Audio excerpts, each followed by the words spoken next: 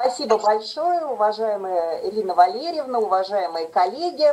Я, если возможно, начну прям сразу с презентации, а дальше вы сможете задать интересующие вас вопросы. А, сегодня мы с вами обсудим вопросы, связанные с а, финансированием а, онкологических заболеваний в системе обязательного медицинского страхования. Но, предваряя свое выступление, я хотела бы обратить ваше внимание, что, безусловно, финансовое обеспечение лечения онкологических заболеваний, оно осуществляется из различных источников – и э, система обязательного медицинского страхования, средства обязательного медицинского страхования – это, пожалуй, важный, но не единственный источник для финансирования. Также у нас осуществляется финансирование за счет средств федерального бюджета отдельно, э, прежде всего лекарственного обеспечения, средств бюджетов субъектов, э, ну и иных средств, предусмотренных законодательством. Вместе с тем, в настоящее время средства обязательного медицинского страхования – это существенный э, пул средств, который направляется на лечение онкологических заболеваний. Не буду долго останавливаться на тех позициях, э, связанных с проектом э, по э, борьбе с онкологическими заболеваниями Федеральный фонд и система обязательного медицинского страхования является соисполнителем этого проекта в части финансового обеспечения непосредственно лечения э, граждан. Мы не закупаем оборудование, но мы обеспечиваем доступную и качественную медицину для тех пациентов, которые в этом нуждаются. Второй год у нас уже движется а, наш проект и те финансовые ресурсы, которые а, предусмотрены на его реализацию, они по-настоящему беспрецедентны. Вы можете обратить внимание на цифры, представленные на слайде. Если 2019 год это было в составе программы госгарантий 200 миллиардов рублей, то 2020 год это 271 с лишним, 271,3 миллиарда рублей – а, вряд ли какой-либо еще другой проект может а, сравниться с темпом а, роста затрат на лечение онкологических, э, на лечение вообще каких-либо заболеваний. Мы должны отметить, что существенные расходы, дополнительные расходы предусматриваются как на а, противоопухолевую терапию. Если прошлый год это было 70 миллиардов рублей дополнительных средств, не всего, а дополнительных, то в этом году это уже 95 миллиардов рублей, 95 эм, э, миллиардов рублей.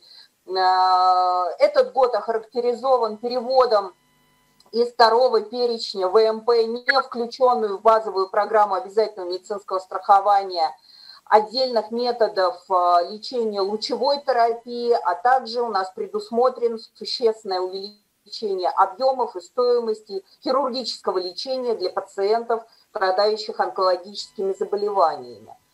Э, на что хотелось бы обратить внимание. Несмотря на те сложные э, вот, последние три месяца жизни нашей страны, связанные с распространением коронавирусной инфекции, а, правительством были созданы все условия для того, чтобы а, ни в коей мере а, оказание медицинской помощи больным онкологическим заболеванием не прекращалось. На местах были созданы специальные маршруты для пациентов, которые позволили им сохранить преемственность лечения – в том числе при получении химиотерапии и других методов исследований. И мы это видим на уровне абсолютно достоверном использования средств, которые мы предоставили субъекты Российской Федерации. Использование средств за 5 месяцев текущего года составило ну, почти 98% от объема предоставленных ресурсов. Что это значит? Это значит, что помощь оказывалась и оказывалась ритмично и планово а, в соответствии э, с теми объемами государственного заказа, которые были распределены по лечебным учреждениям. И даже коронавирусная инфекция не помешала ну, вот такой ритмичной работе лечебных учреждений. Также мы с вами видим, что по сравнению с 2019 годом у нас увеличены ну, практически 30% рост а, средств, направленных в условиях круглосуточного стационара, и 58% за сопоставимый период прошлого года увеличение объема средств, направленных на лечение в дневном стационаре. А как мы с вами знаем, это преимущественно химиотерапия. Таким образом, а, даже опосредованно видя а, те параметры, которые представлены на слайде, можно сказать, что никаких существенных провалов в лечении больных а, онкологическими заболеваниями в настоящее время не усматривается.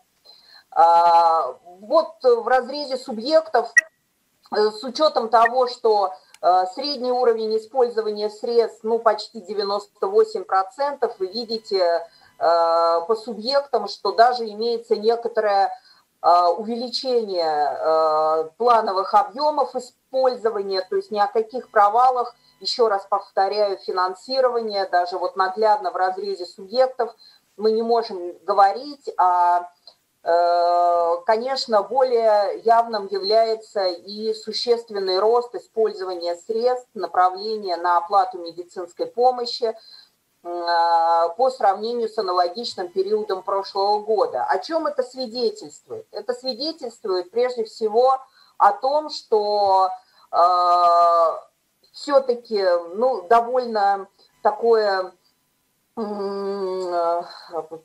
медицинское сообщество трудно перестраиваемое э, к, к работе, наконец пон, понимает, понимает что появились новые возможности, эм, никто их э, за назначение, в том числе дорогостоящих схем лечения, ругать не будет, э, как мы уже обсуждали раньше. Эм, появились возможности, связанные э, в том числе с эм, проведением молекулярной генетики, которая тоже оплачивается за счет системы обязательного медицинского страхования, в том числе даже при необходимости пересыла э, молекулярно-генетических исследований из одного региона в другой. Это тоже все оплачивается за счет средств обязательного медицинского страхования. Кроме того, иммуногистохимические анализы тоже у нас включены в систему обязательного медицинского страхования, поэтому вот тот э, дополнительный ресурс, который получили субъекты с учетом а, не только а, средств, предусмотренных на лечение, но и на диагностику, как раз привело к тому, что более активно, живо стали назначаться, в том числе такие современные схемы, которые раньше не то чтобы про них не знали наши онкологи или химиотерапии, да безусловно знали, но у них не было а, возможности дополнительных исследований, а просто так, без этих исследований, назначать а, таргетную терапию, в этом нет никакого смысла. Поэтому мы здесь и видим а, достаточный рост, в том числе по назначению дорогостоящей терапии. Здесь на слайде представлены слайды, представлена информация как по группам лечения Э, распределилось использование средств. Э, видите, большинство средств направлено на химиотерапевтическое лечение. Мы видим существенное увеличение стоимости онкологической, хирургической помощи. Э, также у нас направляются средства, в том числе на лучевую и лучевую в сочетании с противоопухолевой терапией. Это тоже направление, которое мы мониторируем. Что касается объемов медицинской помощи, то в целом по Российской Федерации мы видим рост объемов оказания медицинской помощи как в круглосуточном стационаре, так и в дневном стационаре. А, поэтому это еще раз подтверждает с двух сторон а, тот тезис, а, о котором я говорила раньше, что оказание онкологической помощи ни в коей мере не было остановлено даже в период пандемии и продолжающейся такой сложной эпидемиологической ситуации в нашей стране. Что касается стоимости медицинской помощи, то уже второй год это новелла, принципе, можно так сказать, и по одному другому профилю э, таких э, решений не принято, а именно только по онкологии для того, чтобы защитить э, или, как правильно сказать, окрасить те средства, которые предоставляются на лечение онкологических пациентов – в программе государственных гарантий Российской Федерации выделены так называемые нормативы финансовых, э, финансового обеспечения онкологической медицинской помощи в условиях круглосуточного и дневного стационара, а также объемные показатели. То есть мы в чистом виде э, можем э, контролировать, мониторировать исполнение как финансовых, так и объемных показателей в соответствии с установленными критериями программы государственных гарантий. Поэтому в целом мы видим по э, Российской Федерации норматив, норматив установлен у нас в круглосуточном стационаре 100 тысяч 800 рублей с ростом в 31% к уровню 2019 года – по состоянию на 1 июня 5 месяцев текущего года средняя стоимость составила 84 тысячи рублей. Вместе с тем по отдельным субъектам Российской Федерации мы видим существенный рост по сравнению с прошлым годом. И, безусловно, ресурсы будут использованы нашими регионами в полном объеме. Здесь мы никаких рисков в принципе вообще не усматриваем. Это картина с круглосуточным стационаром, это картина дневного стационара. Также у нас в программе госгарантии установлен норматив 77 600 рублей а, по дневному стационару. Фактическое достижение составило 72 тысячи, то есть практически мы вышли на плановые значения. А, что касается Э, показателей фактических, то тоже приведены на слайде отдельные субъекты Российской Федерации, из которых мы видим существенный рост финансовых ресурсов, которые направляются на лечение онкологических больных. Наверняка обратите внимание, показатели города Москвы Э, вроде бы 44 тысячи, но здесь отдельная несколько ситуация по сравнению с э, вообще всей страной. Э, Москва дополнительно еще выделяет существенные объемы средств на предоставление лекарственных препаратов, поэтому для лечения в дневном стационаре как правило, э, препараты приобретаются либо для поддерживающей терапии, либо для первого э, курса лечения, все остальное э, предоставляется по региональной льготе. Ну, Москва может себе это позволить, остальные субъекты действуют, и у них достаточно ресурсов в системе обязательного медицинского страхования. А, также следующий показатель, который мы, безусловно, мониторируем в системе ОМС – это кратность проведения схем химиотерапии. А, в целом по году плановый наш показатель – это 5 с половиной 6 курсов химиотерапии на каждого пациента. Безусловно, это средний показатель, кому-то надо 10, а кому-то надо 3. Ориентировочный показатель 5,5, еще раз повторяю, 6. Уже за пять месяцев текущего года кратность госпитализации у нас составила 3,3, то есть мы движемся очень э, так ритмично. Э, это выше показателя прошлого года, ну и в разрезе субъектов Российской Федерации вы видите довольно такие обнадеживающие, я бы сказала, показатели, которые характеризуют ритмичность работы вообще системы оказания онкологической помощи на местах, не только в э, городах э, федерального значения, но и по всей стране. Вы видите, перечень субъектов, он э, включает ну, практически все наши федеральные округа, и Сибирь, и Дальний Восток, и Приморский, э, Приволжский округ, Севастополь представлен и так далее. Поэтому говорить о том, что вся помощь сконцентрирована сейчас э, только в городе Москве и Санкт-Петербурге, это неправильно. А, система оказания онкологической помощи, безусловно, развивается.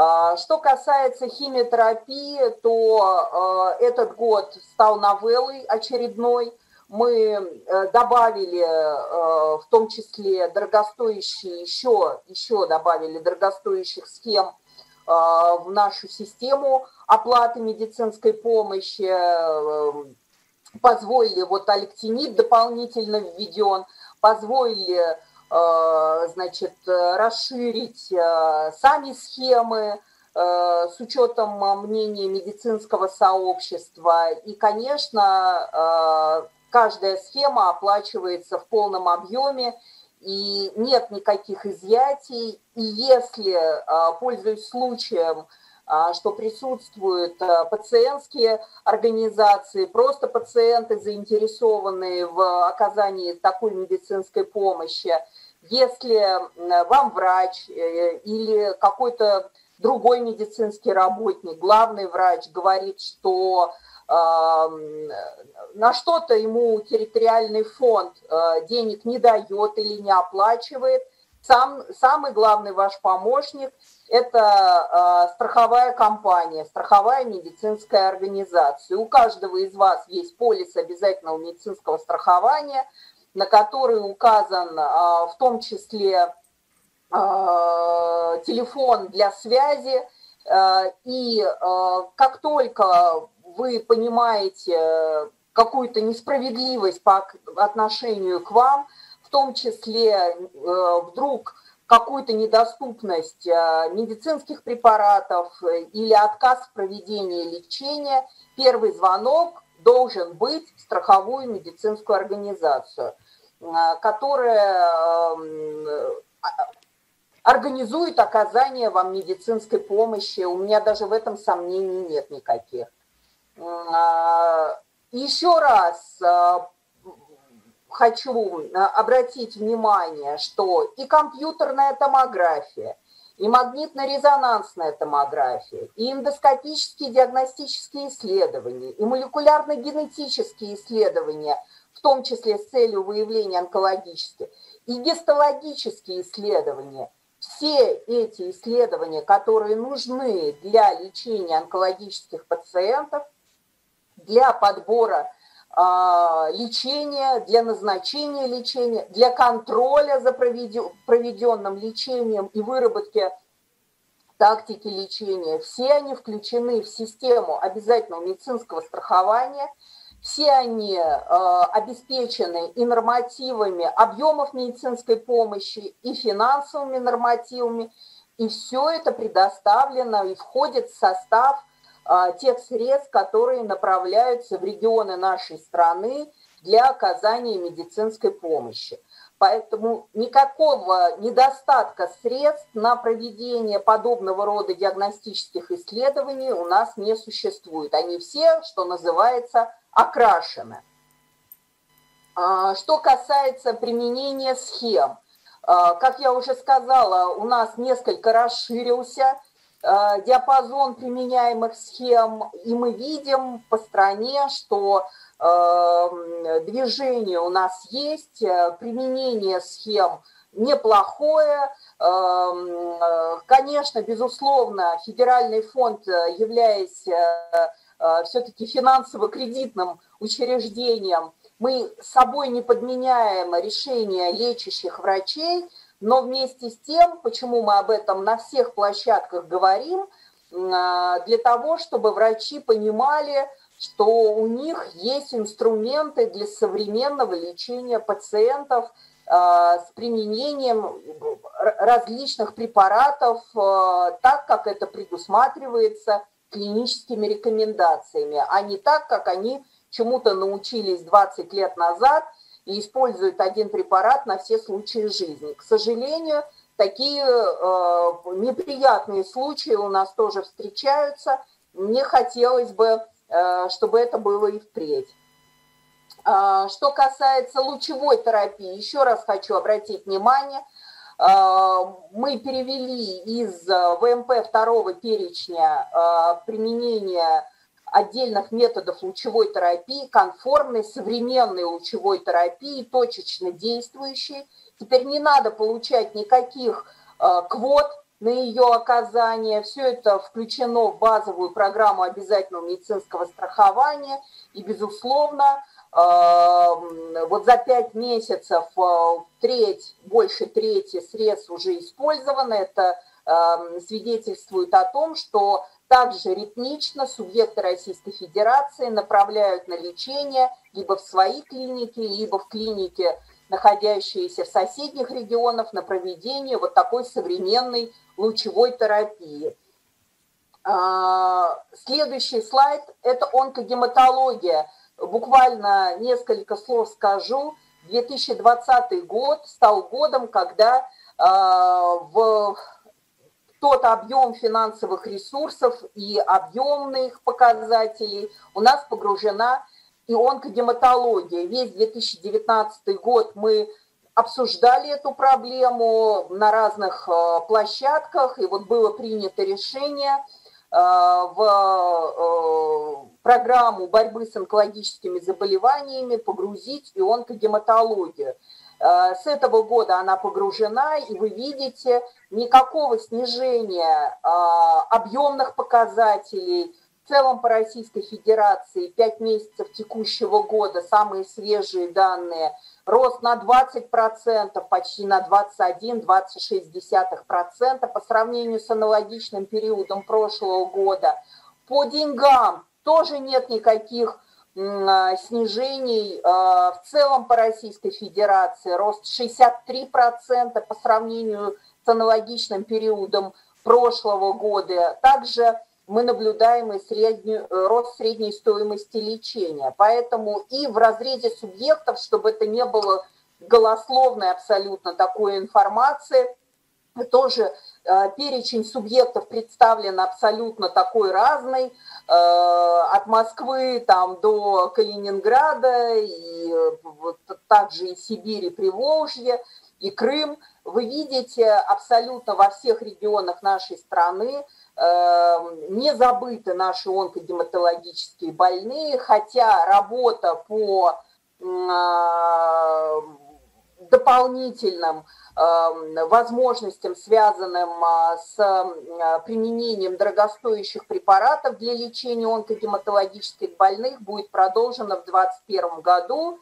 Единственное, что я могу сказать э, здесь, э, что лечение онкогематологических пациентов, она же еще включена в высокотехнологичную медицинскую помощь, особенно дети – Поэтому здесь э, не, не в полном объеме, как солидные опухоли, погружены в систему обязательного медицинского страхования.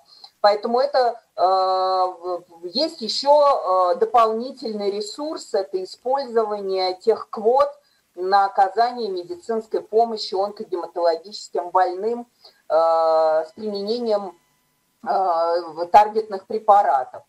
Э, это э, все,